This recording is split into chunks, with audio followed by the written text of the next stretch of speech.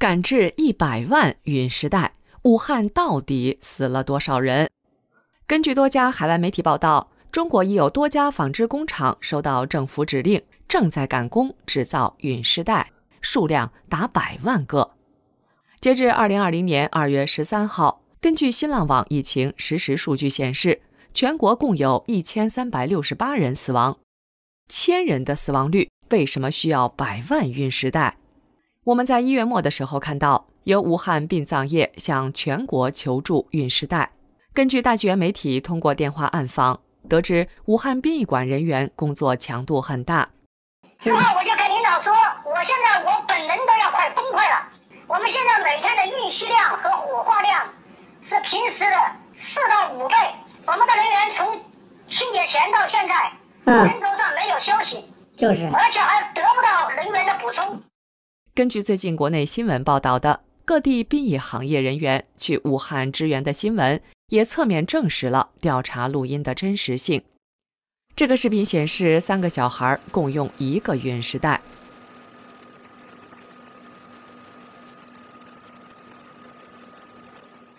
武汉到底死了多少人？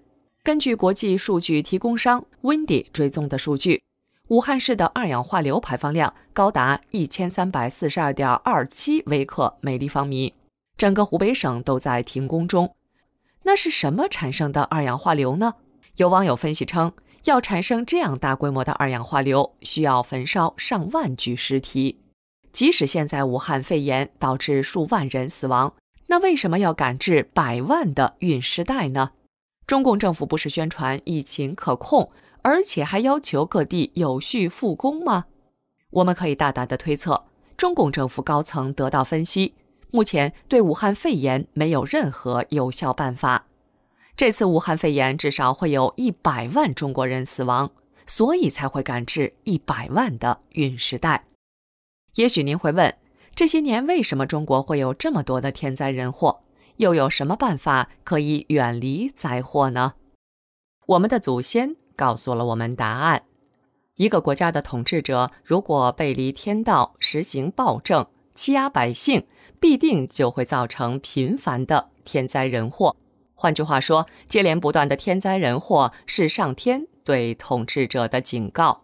中共一九四九年当政以来，各种运动接连不断：三反、五反、文化大革命、六四屠杀大学生，再到迫害法轮功、活摘法轮功学员器官。中共迫害死大批中国人，引发人怨天怒。和历次政治运动一样，共产党编造天安门自焚假案，抹黑法轮功。法轮大法是佛家修炼的上乘功法，学练者以真善忍为原则，要求自己，因为祛病健身、提升道德水平卓著，传播全世界一百多个国家和地区。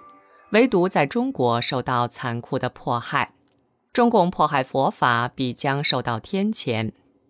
中外历史上著名的预言，例如刘伯温的金陵塔碑文、诸葛亮的马前科等，都直接或间接地预言了中共政权的灭亡。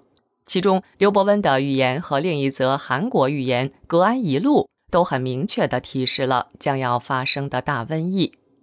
如今，中共内外交困。美国正在掀起淘汰共产主义的历史大潮，香港民众抗争持续，中国经济持续下滑，官员们消极怠工，中共气数已尽。中国官场和企业各界都在纷纷寻找各种渠道，把资金和家人送往海外避险。当您加入中共的共产党共青团或者是少先队时，共产党让您向他发誓，为党牺牲生命，奋斗一生。随时准备为党人民牺牲当上天降下大瘟疫等天灾来清算中共罪恶的时候，您的誓言就将兑现。唯一自救的办法就是退出中共的党团队组织，也称“三退”。把发过的毒誓抹掉。您放心，不是让您去组织内退，而是在海外的退党网站上声明三退，用真名、小名、化名退都有效。目前已经有三亿五千多万中国同胞做了三退。三退关系到您的未来，非常严肃。智者先贤们都预言了今天的事。当有行大善者劝您退出来时，一定要退出来。遭了此劫，不上算，切莫错过神佛对我们的慈悲。在大地震、非典、大洪水等各种天灾人祸面前，许多善良的大陆同胞因为做了三退，并诚心的默念“法轮大法好，真善人好”，而得到了平安福报。